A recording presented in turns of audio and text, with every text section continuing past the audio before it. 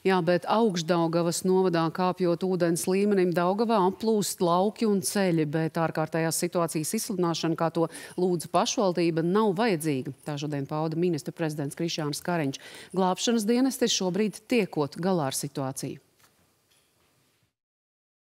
Ja gadījumā šī situācija, jebkura iemesla dēļ, mainītos, tad ministra kabinets ļoti strauji, nekavējoties, sanāktu kopā un pēc vajadzības izsludinātu šādu ārkārtas situāciju, ja tas kaut ko mainītu. Bet līdz šim uh, ir jāsaprot, ka vismaz plūdu gadījumos no visiem mūsu civilās aizsardzības uh, sistēmām, kur arī mūsu iekšēt ministrs šobrīd strādā, lai uzlabotu sistēmu, bet tieši plūdu pārvaldību ziņā šķiet mūsu valstī uh, tiešām labi e, strādā visi mūsu normatīvie, kas ļauj piesaistīt visus dienestus pēc vajadzības.